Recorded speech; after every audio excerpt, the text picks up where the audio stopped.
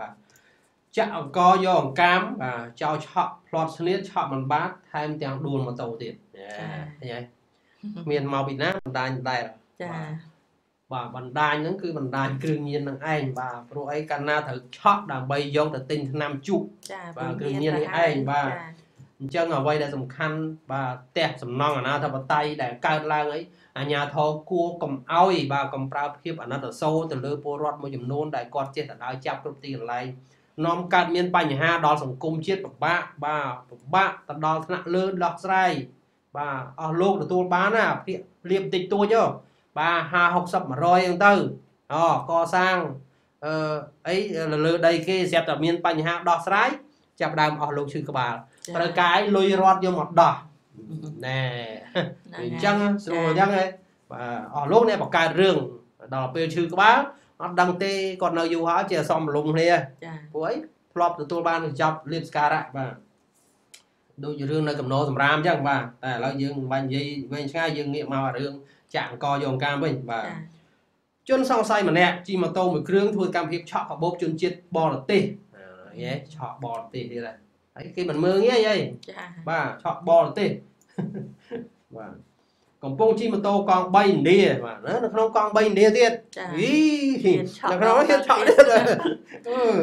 កង់3ឥណ្ឌាដូចក្លុបសឹងទាំងអស់ហើយហ្នឹងចាបាទមានតែកន្លែងផ្លូវចេញចូលមួយដែលហ្នឹងហើយចាអញ្ចឹងគាត់តាមមើលរហូតដែរហ្នឹងចា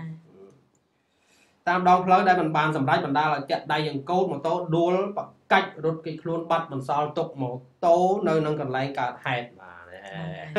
ចាអានេះចាក់កយកការរបស់គេមែនបាទហើយការនេះបានកើតឡើងកាលវេលាម៉ោង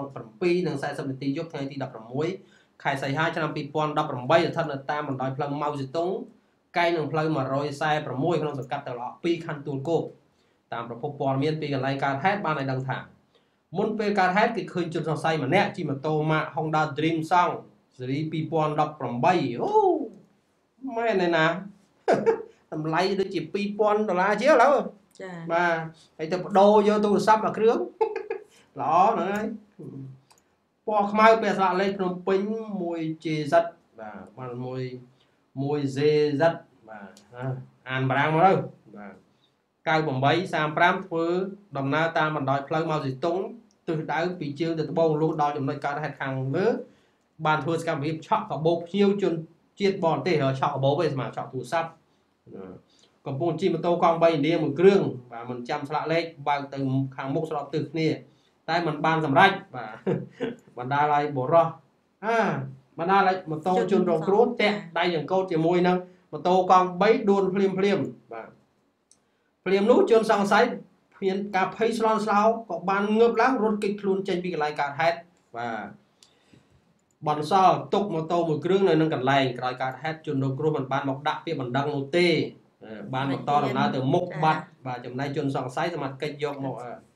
ម៉ូតូជនសង្ស័យបានកិច្ចយកមករក្សាទុកនៅប៉ុស្តិ៍នគរបាលសង្កាត់ទឹកឡោទី2ដើម្បីស្វែងរកជនសង្ស័យបន្តទៅផ្ដន់ទោសបាទតាមច្បាប់អត់មានន័យថារកមិនឃើញទេចាបាទ មានផ្លាកលេខអីត្រឹមត្រូវហើយមកចាក់ម៉ូតូហ្នឹងបឹបមកបាទហើយបើសួរម្ចាស់ម៉ូតូថាយកលេសបានលក់ទៀតឯណាឯកសារលក់ហ្នឹងហើយរឿងអីតែមិនឃើញបើឲ្យបើ018យកទៅដូរកាបូបមួយសង្ស័យកាបូបនោះ50000ហ្នឹងអីលើកតាមមើលមិនអាចទេបាទមិនអាចទេយ៉ាងច្រើន200អ่ะនិយាយលេងទេ